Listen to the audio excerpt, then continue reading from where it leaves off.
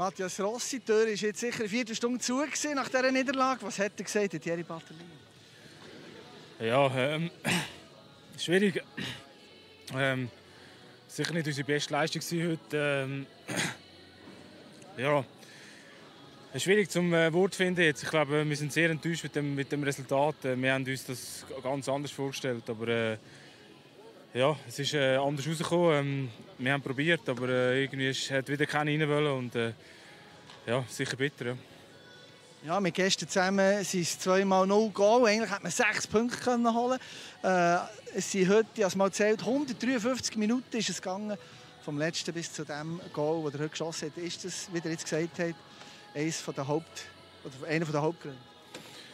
Ja, sicher auch ein Grund. Äh, ja, eben, jetzt haben wir, äh, wir erarbeiten uns sehr viele Chancen. Wir haben heute wieder sehr viele Chancen gehabt. Ähm, ja, äh, ich weiß nicht, äh, das Goal ist verhext im Moment. Äh, ähm, ja, aber es, wir, müssen, wir müssen weiterarbeiten. Ich glaube, es bringt, bringt nichts jetzt den Kopf äh, ja, ähm, in den Sand stecken und äh, aufgeben. Ich glaube, wir, wir wissen, wenn wir, wenn wir weiter arbeiten, irgendwann kommt es wieder. Und, äh, aber es ist sicher sehr bitter und ich glaube heute auch, also blöde Strafe geholt, äh, ich glaube drei Boxplay-Goal. Ähm, ja, so, so kannst du kein Match gewinnen.